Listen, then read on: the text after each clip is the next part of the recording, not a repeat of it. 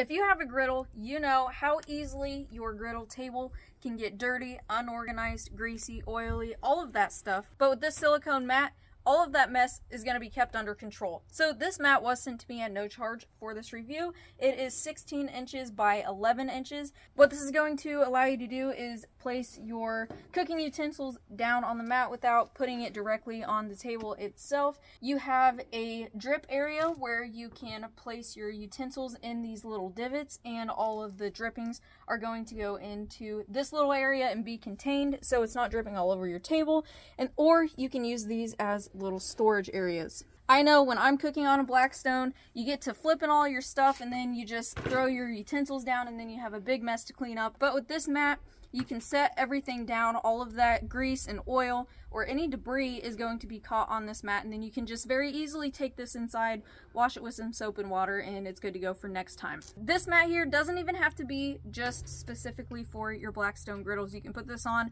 a side of a grill or just use it in your kitchen. It doesn't matter, however you want to use it, it's going to keep any messes contained and just a little bit more organized. But in my instance, we are using this for a Blackstone griddle, and you know that there are a lot of accessories go with the Blackstone griddles, and this one right here is one that I think that every Blackstone griddle owner should have.